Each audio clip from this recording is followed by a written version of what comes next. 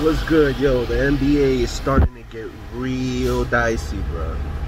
Games are starting to get postponed left and right.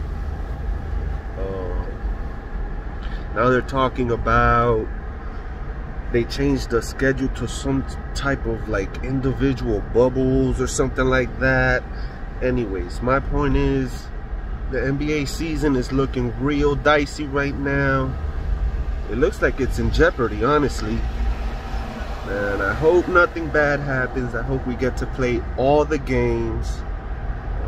I feel like we need basketball. We need sports. But at the same time, it's like, if it's to be stupid like that, then I don't know because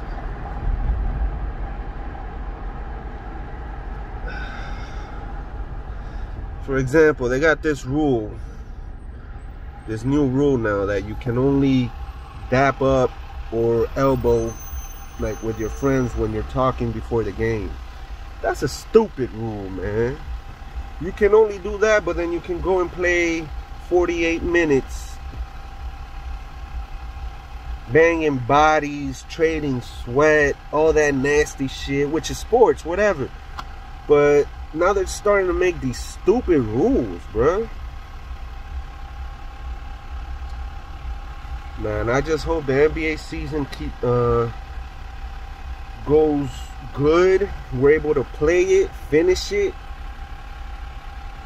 Playoffs championship all that bro. But sports are starting to get dicey